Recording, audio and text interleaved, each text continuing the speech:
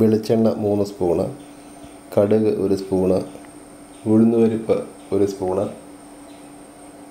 ഉള്ളി ഒരു ആറെണ്ണം അരിഞ്ഞത് ഇഞ്ചി ഒരു ചെറിയ കഷ്ണം അരിഞ്ഞത് പച്ചമുളക് ഒരു നാലെണ്ണം അരിഞ്ഞത് കറിവേപ്പില രണ്ട് കതിർപ്പ് ബീൻസ് ഒരു ആറെണ്ണം അരിഞ്ഞത് കാരറ്റ് ഒരു വലുത് ചെറുതായിട്ട് അരിഞ്ഞത്. തേങ്ങ അരമുറി ചിരവിയത് റവ ഒരു നാനൂറ് ഗ്രാം. ഇത്രയുമാണ് റവ ഉപ്പാവിന് ആവശ്യമായ സാധനങ്ങൾ. വെളിച്ചെണ്ണ മൂന്ന് സ്പൂൺ നമ്മൾ ഒഴിച്ചു. വെളിച്ചെണ്ണ ചൂടായെന്ന് തോന്നുന്നു. നമുക്ക് കടുകിടാം ഒരു സ്പൂൺ കടുക് നമ്മളിടുകയാണ് ഉഴുന്ന് പരിപ്പ് ഒരു സ്പൂൺ. ഒന്ന് ഇളക്കി കൊടുക്കുക അരിഞ്ഞു വെച്ചിരിക്കുന്ന പച്ചമുളക് ഉള്ളി കരിവേപ്പില ഇഞ്ചി എല്ലാം ഇതിന്റെ കൂടെ ചേർക്കാം.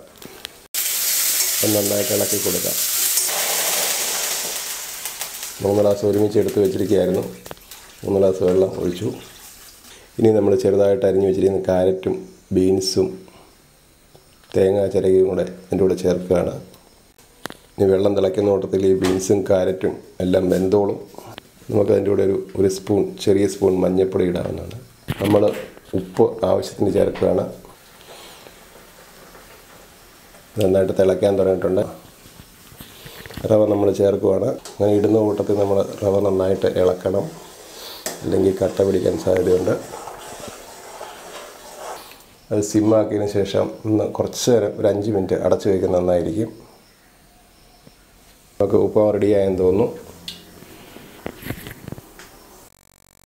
കട്ടയാകാത്ത രീതിയിൽ നല്ല രീതിയിൽ ഇളക്കി കൊടുക്കണം.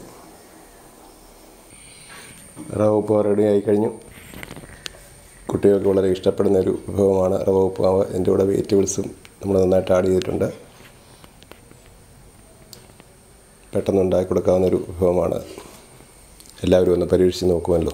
നിങ്ങൾക്ക് ഈ വീഡിയോ ഇഷ്ടമായെങ്കിൽ ഈ ചാനൽ സബ്സ്ക്രൈബ് ചെയ്യുക. ഇനിയും പുതിയ പുതിയ വീഡിയോസ് അപ്ലോഡ് ചെയ്യുമ്പോൾ നോട്ടിഫിക്കേഷൻ ലഭിക്കാനായി ബെല്ലൈക്കൺ ക്ലിക്ക് ചെയ്യുക.